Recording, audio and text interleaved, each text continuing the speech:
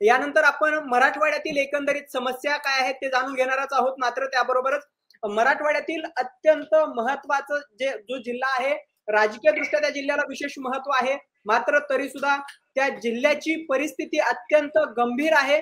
त्या जिल्ह्यामध्ये श्रीभ्रूण हत्या मोठ्या प्रमाणावर होतात आणि शेतकरी आत्महत्या सुद्धा मोठ्या प्रमाणावर होत असलेल्या बीड जिल्ह्याचे प्रतिनिधी आपल्यासोबत आहेत. हरिदासजी काय सांगाल एकंदरीत कशा पद्धतीने स्वातंत्र्याच्या सत्याहत्तर वर्षानंतर बीड जिल्ह्याची अवस्था आहे?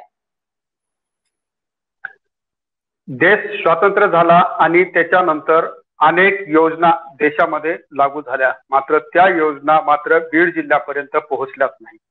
सगळ्यात महत्वाचं म्हणजे जिल्ह्याचा जो विकास व्हायला हवा होता तो विकास मात्र झालेला नाही. बीड जिल्ह्यामध्ये अनेक समस्यांनी ग्रासलेला जिल्हा म्हणून या जिल्ह्याची ओळख. पहिल्यांदा सांगायचं झालं तर बीड जिल्हा हा दुष्काळीग्रस्त जिल्हा म्हणून ओळखला जातो. आणि याच दुष्काळी जिल्ह्यामध्ये अनेक शेतकरी आपल्या आत्महत्या करताना या ठिकाणी पाहायला मिळतात. बीड जिल्ह्यामध्ये गेल्या वर्षीचा जर आकडा बघायचा जर गेला तर एका वर्षामध्ये तब्बल दोनशे सत्तर आत्महत्या या बीड जिल्ह्यातील शेतकऱ्यांनी केलेल्या आहेत. त्याच्यापैकी दोनशे एकोणीस शेतकऱ्यांच्या आत्महत्या या पात्र ठरलेल्या आहेत. आणि दोन हजार तेवीस या एक जानेवारी ते दोन हजार तेवीस म्हणजे तब्बल ह्या साडेसात ते आठ महिने साडेसात महिन्यामध्ये एकशे एकाहत्तर शेतकऱ्यांनी बीड जिल्ह्यातल्या शेतकऱ्यांनी आत्महत्या केल्या त्याच्यापैकी ब्याऐंशी शेतकऱ्याच्या आत्महत्या ह्या पात्र ठरलेल्या आठ महिन्यात जर एकशे एकाहत्तर शेतकरी जर आत्महत्या करीत असतील तर हे एकदम भयावह दृश्य या ठिकाणी आपल्याला पाहायला मिळतंय. कारण बीड जिल्ह्यामध्ये आता या वर्षी तब्बल एक महिना पाऊस उशिरा पडला. उशिरा पाऊस पडल्यामुळे बीड जिल्ह्यातील शेतकऱ्यांच्या पेरण्या उशिरा झाल्या. त्यानंतर आता तब्बल पंधरा दिवस झालं पाऊस नाही. कुठंतरी बीड जिल्ह्याकडं वरुण राजाची वक्रदृष्टी आहे. वरुण राजा बीड जिल्ह्याकडे बघायला तयार नाही. बीड जिल्ह्याच्या बाजूलाच असलेल्या बाकीच्या जिल्ह्यामध्ये मात्र पावसानं हाहाकार घातल्याचे अनेक चित्र आपण पाहतोय. त्याचबरोबर बीड जिल्हा हा ऊसतोड कामगाराचा जिल्हा आहे आणि ऊसतोड कामगाराच्या बीड जिल्ह्यामध्ये अनेक समस्या या बीड जिल्ह्यामध्ये आहेत.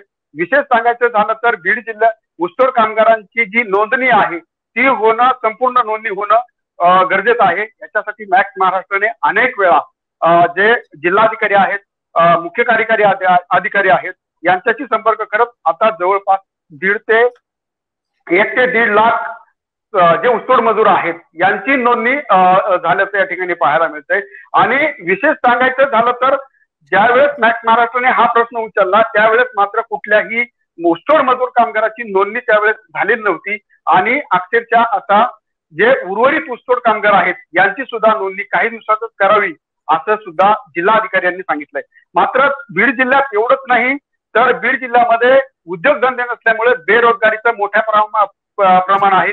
बीड जिल्ह्यात आठ ठिकाणी बीड जिल्ह्यामध्ये एमआयडीसीची जागा जी आहे ती आरक्षित केली होती. मात्र फक्त बीड शहर सोडता बाकीच्या सात ठिकाणी जे उद्योग व्यवसाय आहेत ते उभारीत आलेले नाहीत. उद्योग व्यवसायाची निर्मिती झालेली नाही आणि त्या ठिकाणी उद्योग नसल्यामुळे त्या ठिकाणचे जे तरुण आहेत तरुणां जे सुशिक्षित तरुण आहेत त्या तरुणांना रोजगार मिळत नाही. रोजगार मिळत नसल्यामुळे त्यांचं स्थलांतर होतंय. एकीकडं रोजगार नसल्यामुळं अनेक तरुण अविवाहित सुद्धा या ठिकाणी बीड जिल्ह्यात पाहायला मिळत आहेत. अनेक गावामध्ये अनेक तरुणांपुढं महत्त्वाचा म्हणजे मोठा प्रश्न आहे की त्यांच्या पुढं त्यांच्या हाताला काम नाही. अनेक शिक्षणाचे कागद घेऊन अनेक पदव्या घेऊन लोक बाहेर पडलेत. मात्र नोकरी नसल्यामुळं अनेक तरुण अविवाहित सुद्धा या ठिकाणी बीड जिल्ह्यात पाहायला मिळतात. आणि दुसरा महत्त्वाचा म्हणजे बीड जिल्हा ऊसतोड कामगाराचा जिल्हा आहे. आणि या ऊसतोड कामगाराच्या जिल्ह्यात जे ऊसतोड कामगार जी व्यक्ती आहेत त्यांचे मुलं आहेत त्या मुलांसाठी जे वसतिग्रह व्हायला पाहिजेत हे वसतिग्रह मात्र झालेले नाहीत. हे वसतिग्रह हे नुसते कागदावरच झालेले पाहायला मिळतात. अनेक वेळा आपण पाहतो की या वसतिग्रहाच्या प्रश्नावर अनेक वेळा मॅक्स महाराष्ट्र असेल इतर सर्व सर्व प्रसार माध्यम आवाज उठवतात. मात्र ऊसतोड कामगारांचे हे वसतिग्रह नुसते दाखवले जातात. प्रत्यक्षात मात्र कुठेही होत नाहीत. आणि विशेष म्हणजे बीड जिल्ह्यामध्ये जलसिंचनाचा मोठा प्रश्न आहे. जायकवाडी प्रकल्प जायकवाडीचं जे बॅकवॉटरचं जे पाणी आहे ते सोडता बाकीच्या उर्वरित भागामध्ये मधला जो पट्टा आहे जो गोदावरी आणि मांजरा नदीच्या मधला जो पट्टा आहे या भागामध्ये मात्र दुष्काळी परिस्थिती अनेक वेळा पाहायला मिळते. त्याच्यामुळं मराठवाडा भाजप सरकार दोन हजार चौदा मध्ये ज्यावेळेस आलं त्यावेळेस त्यांनी मराठवाडा बॅकवॉटर ही योजना आम्ही राज्यामध्ये मराठवाड्यामध्ये राबू असं सांगितलं होतं. मात्र मराठवाड्यामध्ये बॅक मराठवाडा बॅक वॉटरचं पाणी अजूनही बीड जिल्ह्याला मिळालं नाही. मात्र घोषणा मात्र होती अनेक बीड जिल्हा हा राजकीय दृष्ट्या अत्यंत महत्त्वाचा जिल्हा म्हणून ओळखला जातो. राज्यामध्ये कुठलीही घडामोड जर व्हायची असेल तर बीड जिल्ह्यामध्ये होते. आणि विशेष सांगायचे म्हणजे बीड जिल्ह्यामध्ये महिलांच्या सुरक्षेचा प्रश्न जो आहे तो या ठिकाणी पाहायला मिळतो. हा अत्यंत महत्त्वाचा मुद्दा आहे की बीड जिल्ह्यामध्ये बीड जिल्ह्याने उपमुख्यमंत्री पद सुद्धा भूषवलेले अनेक मंत्रीपद बीड जिल्ह्याने भूषवलेले आहेत. सध्या सुद्धा धनंजय मुंडे हे कृषी मंत्री आहेत. मात्र याच बीड जिल्ह्यात शेतकऱ्यांच्या आत्महत्या मोठ्या प्रमाणात होत आहेत. नेमकी काय कारण आहेत या सगळ्या पाठी सगळ्यात महत्वाचं म्हणजे अत्यंत बीड जिल्हा हा बीड जिल्ह्यामध्ये ओला दुष्काळ आणि जो आहे तो कोरडा दुष्काळाचा सामना बीड जिल्ह्यातील शेतकऱ्यांना करावा लागतो. अनेक वेळा शासनाने नियमात जे बँकांना नियम घालून दिले हे कृषी कर्ज सुद्धा बीड जिल्ह्यातील शेतकऱ्यांना वेळेवर मिळत नाहीत. त्याचबरोबर बीड आत्महत्या होण्यामागची म्हणजे रोजगाराच्या समस्या मोठ्या प्रमाणात आहेत. बीड जिल्ह्यातील अनेक लोकांना जवळजवळ साडेचार लाख लोकांना ऊसतोडणीसाठी बाहेर जिल्ह्यामध्ये ऊसतोडणीसाठी जावं लागतं. अत्यंत आर्थिक परिस्थिती कमकुवत असल्यामुळे बीड जिल्ह्यातील जे शेतकरी आहेत ते आत्महत्या करताना या ठिकाणी पाहायला मिळतात. त्याचबरोबर बीड जिल्ह्यामध्ये महिला सुरक्षेचा प्रश्न सुद्धा मोठा आयरनीवर आहे. अनेक वेळा सांगतो की आम्ही सक्षम आहोत मात्र सक्षम कशासाठी आहोत? परंतु बीड जिल्ह्यामध्ये ज्या महिलांवर होणारे अन्य अत्याचार आहेत गर्भपाताचा विषय जो आहे तो गर्भपात प्रकरण आहे. ते मोठ्या प्रमाणात बीड जिल्ह्यात होताना पाहायला मिळतात.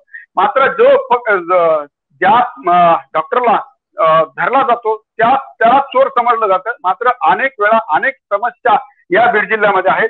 त्याचबरोबर बीड जिल्ह्यामध्ये आता सगळ्यात महत्वाचं म्हणजे गुन्हेगारी प्रवृत्ती वाढत आहे. कारण रोजगाराची रोजगार नाही त्यामुळे गुन्हेगारी प्रवृत्ती वाढत आहे. जर जो व्यक्ती कामात असेल त्याला गुन्हेगारी कडे वळण्याचा विशेष येत नाही. कारण रोजगार नसल्यामुळे गुन्हेगारीची प्रवृत्ती वाढत आहे. दुसरं सांगायचं झालं तर बीड जिल्ह्यामध्ये जलजीवन सारखा अठराशे कोटी रुपयाची बोगसगिरीची कामं या ठिकाणी बीड जिल्ह्यामध्ये झालेली आहेत.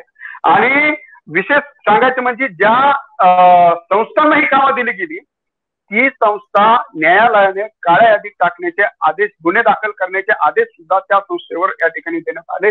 मात्र या संस्थेना मात्र अनेक मोठी मोठी कामं सुद्धा या जिल्हा परिषदेचे जे मुख्य कार्यकारी अधिकारी होते त्यांनी दिली गेली.